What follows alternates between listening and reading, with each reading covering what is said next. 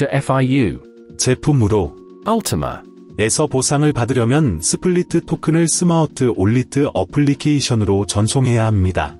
SPLIT 토큰으로 거래하려면 지갑을 활성화하는 것을 잊지 마세요. 활성화하려면 1 SMART를 지갑으로 전송하세요.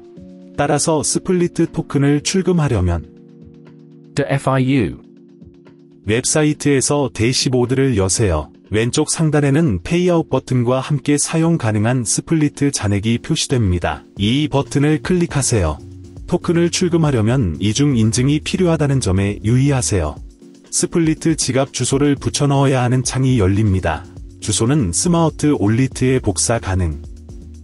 복사한 주소를 붙여넣고 출금할 SPLIT 금액을 지정한 후 Transfer, 버튼을 클릭하세요.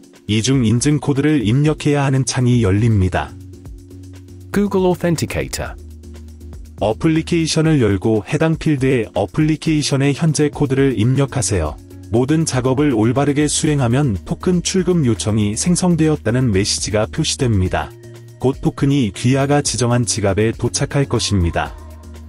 Payouts, History, 섹션에서 payout 내역을 확인할 수 있습니다. 질문이 있는 경우 지원팀에 문의하시면 기꺼이 도와드리겠습니다. 성공적인 업무를 기원합니다.